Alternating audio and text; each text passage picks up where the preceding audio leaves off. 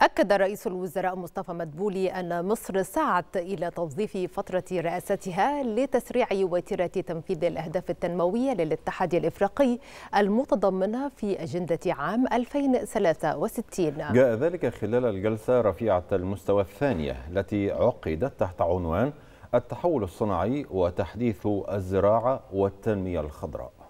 سعت مصر بحكم رئاسة السيد الرئيس عبد الفتاح السيسي للجنة التوجيهية لوكالة الاتحاد الأفريقي للتنمية النيبات الزراعة التنفيذي التنموي للاتحاد الأفريقي إلى توظيف فترة رئاستها لتسريع وتيرة تنفيذ الأهداف التنموية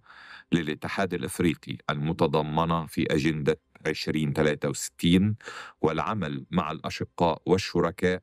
على التغلب على المعوقات الكبيرة التي تعرقل تنفيذها وعلى رأسها حشد التمويل للمشروعات الأفريقية الرائدة مثل سد إنجا وممر التنمية الرابط بين البحر المتوسط وبحيرة فيكتوريا والطريق البري القاهرة كيب تاون فضلا عن استكمال شبكة الربط الكهربائي بين مختلف أنحاء القارة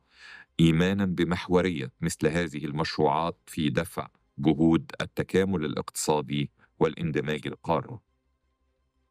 السيدات والسادة،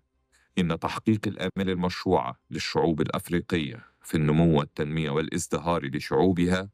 والتغلب على المعوقات التي تقف أمام ذلك هي مسؤولية الحكومات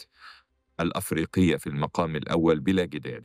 غير أن ضخامة كل من الفرص والتحديات التي تواجه القارة